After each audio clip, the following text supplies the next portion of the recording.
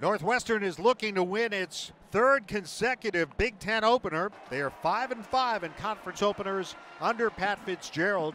Two receivers to the right and a wing, and the give is to Newby right side. Finds running room, cuts back 40, 35. Look out to the 20, angling right 15 to the 10 to the 5.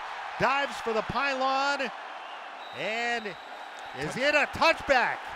They're going to rule it a touchback. He, let go of the ball. He fumbled the ball out of the end zone.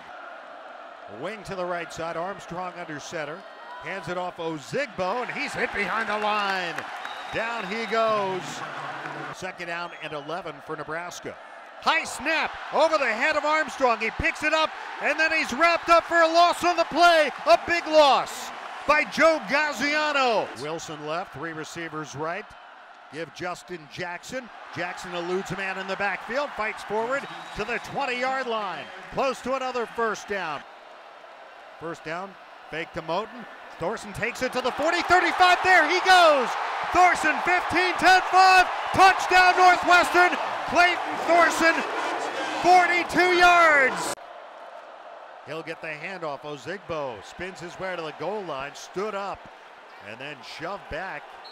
And the Wildcats are signaling that the ball popped out. Here comes the Here's call. the call. After review, the ruling of a touchback stands.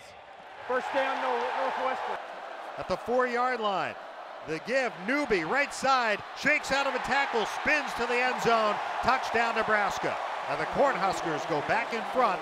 They bring Vault in motion. Play fake by Thorson. He's going downfield. Caught at the goal line. Touchdown!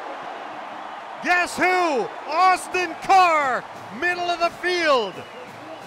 And the Wildcats answer the Nebraska touchdown quickly on the pass from Clayton Thorson.